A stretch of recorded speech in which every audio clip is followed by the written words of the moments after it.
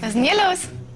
Irgendwie siehst du heute besonders schön aus. Danke. Hast du die Haare anders? Nö. Aber ein neues Top, oder? Ah, Die ist bestimmt frisch verliebt. so ein Quatsch.